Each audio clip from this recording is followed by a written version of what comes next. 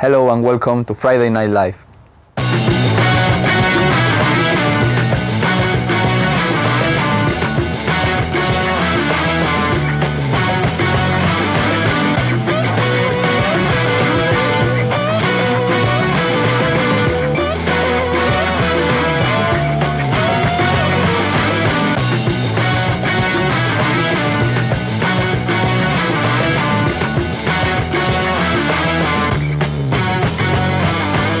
One. Right, we're going back to Cobham because there is a gentleman who would like to ask you a question. Frank here, player's assistant. They call me the Bulldog. One question I want to ask Torres. I used to be blonde once. Do you think you're going to end up like me?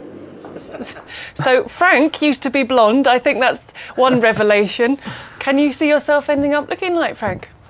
Maybe, maybe. Who knows? Hopefully not. Hopefully not.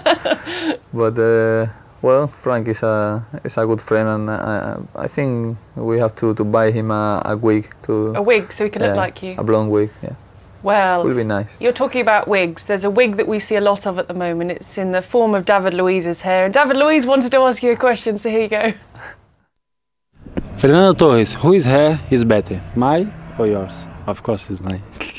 Okay. so- you, you have a right to reply. Do you think Yeah, your he's hair right. is better? He's right. He's the everyone is uh, wearing his his uh, hairstyle, his wig on the on the stadium. So obviously his, his hair is the, the best. Oh, so you're going with his hair. I've got about 700 tweets that would say your hair is yeah, the but no one is wearing wigs with my hair, and everyone is wearing his his wig. So See, so you want you want you want people to have a wig of your hair? No, no, no, no, no. Well, I don't I don't no, know no, no, no, I don't know what we're asking for here. It's